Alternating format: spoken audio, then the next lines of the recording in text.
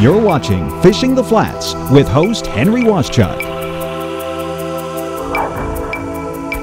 When it comes to night fishing in Florida, there's one fish that stands out among the rest for being a nocturnal feeder, and that's the good old snook.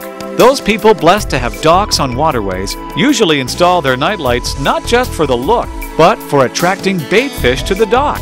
And guess what? Soon the snook will come too, night after night. These docks from the water are automatic snook hotspots all year long. Now, take this approach to fishing at night with you.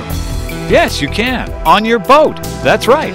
Ocean LED has developed incredible new technology, and again, not just for looks, but to attract fish to your boat. What if you could bring the fish closer to you? That's what this is about. The pure blue color attracts bait right into the lights while not bothering their eyes. If the bait is okay with it, the game fish are too. That's where Ocean LED excels. Their technology of regular and strobe light patterns have given a whole new outlook of fishing at night, just like this.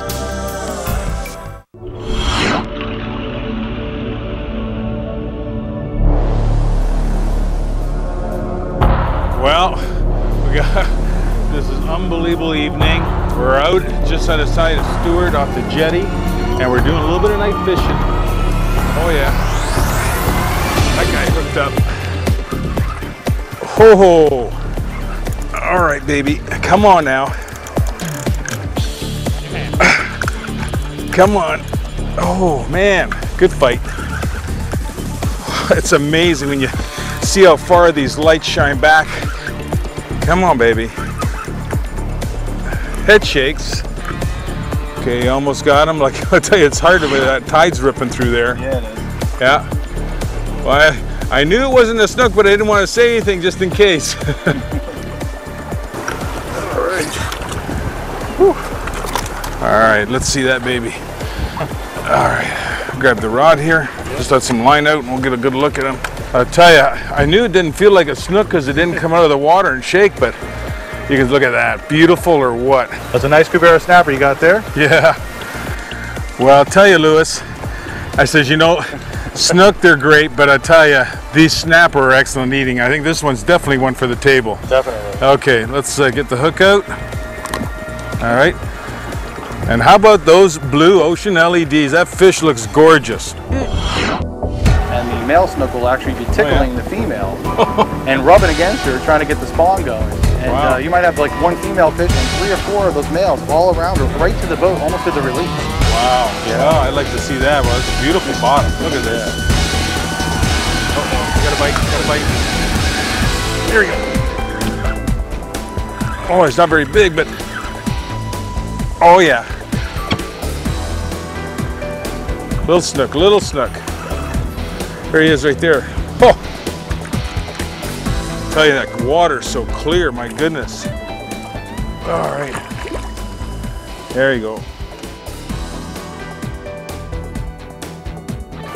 All right, I'm gonna put them in the water.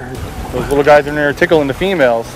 Yep. Every now and then you'll hook a big fish and three or four of those little guys will come up right with her to the boat. Oh, well, this guy's about ready.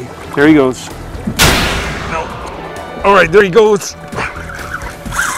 Oh, man. Ooh. okay. It could be another Cubera. Yeah, but it's amazing because, you know, this tide's ripping behind us. And it's just, I don't know if it's a little bit too fast for these snook and they're just holding back.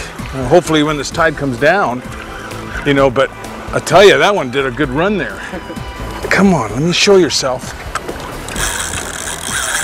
Oh, oh it might be a snook. It's so hard because you really can't see. We got hasn't the fish hasn't come into the lights yet, but boy, I tell you when it does, I think it's long. Oh yeah, beautiful snook. Okay. Do we have him secure? Because it looks like a nice fish. Yes, sir. Oh my goodness, Lewis. Lewis, baby, show us this fish. Beautiful. You really like to take care of these bruisers. Now what I'm gonna do is I'm just gonna hold this fish and suspend him in the water. Look at that fish. Beautiful.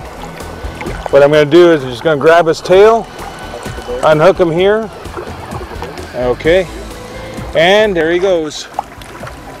Now, how about that for a little bit of great action? A little bit of this, a little bit of that. Pretty awesome. You know, no matter where you go in Florida, there's always some great fish to be had. And I definitely, if you've never tried night fishing, give it a try. You might want to get some lights yourself. I'm Henry Waszcuk, and we'll see you next week on another episode of Fishing the Flats. Next week, we travel to the Venice Flats of Louisiana to hunt quality redfish on artificial lures with Captain Peter Chesner. Closed captioning has been provided to you by King Sailfish Mounts for that once in a lifetime catch. Fishing the Flats with host Henry Waszcuk was brought to you in part by E21 Biofiber Carrot Stix Rods, Mercury Marine, number one on the water. Motor Guide, never stop. Power Pro, make every strike count. And Shearwater Boats, shallow water excellence. Great time. I feel like Neil Diamond, you know, hot August night, Tuesday time. Neil Diamond, I could think of somebody else. That's all right.